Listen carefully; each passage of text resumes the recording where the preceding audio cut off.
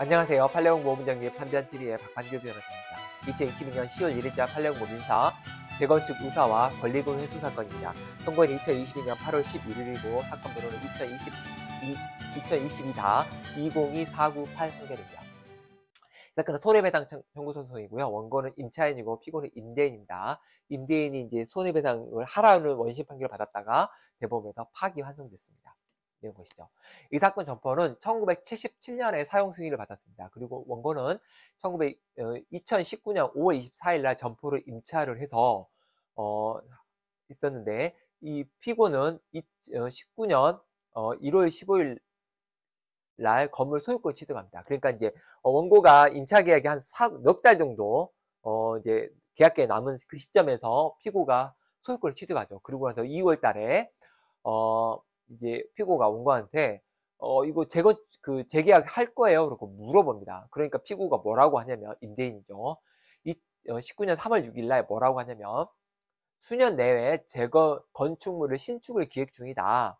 어쨌든 5%를 증액을 할 건데 갱신 계약 시에 철거 및 재건축 계획을 구체적으로 고지하겠다라는 내용 증명을 발송합니다.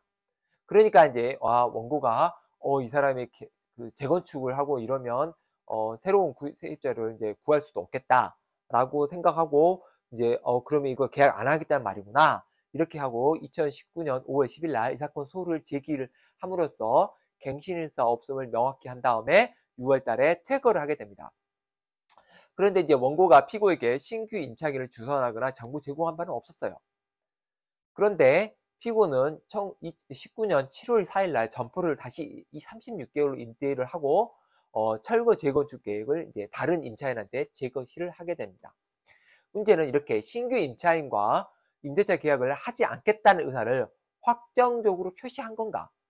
이게 왜 중요하냐면 이렇게 되면 계약 갱신 청구권이 있는 어, 임차인이 계약 갱신 요청을 했는데 이거를 정당한 이유 없이 어, 갱신을 하지 않겠다고 하면 권리금 회수 방해 행위로 해당한다고 해서 권리금 상당액에 대한 손해배상을 하게 돼 있어요.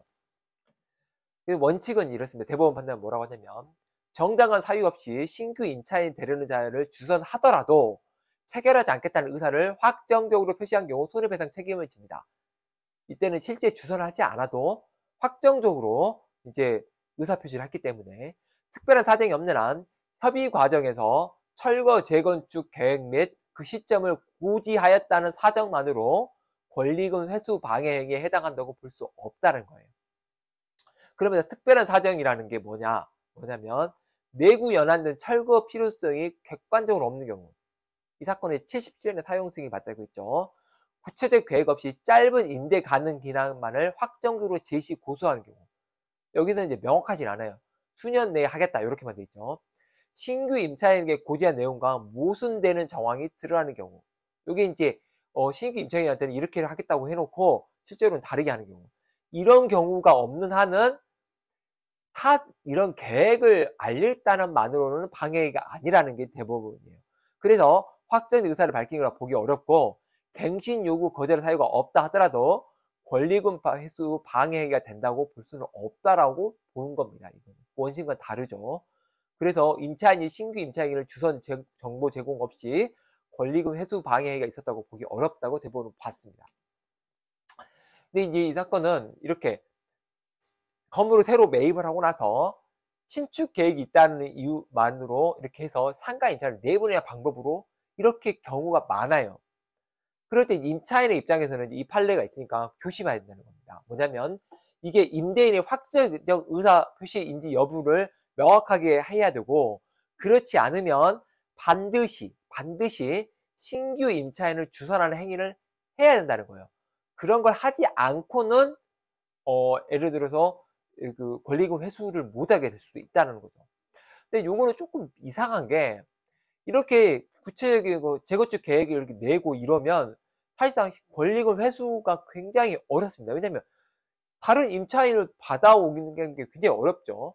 또 하나 권리금이라는 게 뭐냐면 그게 이제 그 바닥의 상권이라든지 그 다음에 인테리어, 집기에 관한 비용들을 받는 건데 이렇게 기간이 짧아지게 되면 업종을 전환할 수밖에 없어요. 그럼 업종을 전환하게 되면 사실상 인테리어를 회수할 수가 없게 됩니다. 권리금을 줄 수가 없게 돼요. 그리고 상권도 달라지고 예를 들어서 뭐 여기다가 식당을 하던 상권이었는데 이 상권을 내가 무슨 뭐 이불 가게를 한다. 상권이 달라지기 때문에 권리금이라는 걸 받을 수가 없게 되는 거예요. 그러니까 이거는 지금 사실상 권리금을 보호하는 그러니까 보호를 하려고 지금 만들어 놨는데 이렇게 엄격하게 보게 되면 결국에는 권리금을 회수할 방법이 없게 되는 거죠. 그래서 요거는 조금 판례가 너무 지나치게 엄격하게 본 게 아닌가라는 생각이 있고 어쨌든 판례가 이렇다는 거 그러면 임차인 입장에서는 굉장히 조심해야 됩니다. 함부로 임대인이 어, 임대 의사가 없구나 이렇게 단정해서는 안 되고 이거를 다시 한번 확인해 보고 명확하게 안 하면 적어도 신규 임차인을 주선을 해 와서 실제 계약을 하는 과정에서 이 임대인이 아 이렇게는 절대 안 된다. 아니 무리한 요구를 한다. 이럴 경우에만 권리금 회수 방해 행위로서 손해배상 청구가 가능하다. 그러니까 요거는 임차인이나 임대인 둘 다 잘 기억해 주시는 게 좋을 것 같습니다. 이상 마치겠습니다. 감사합니다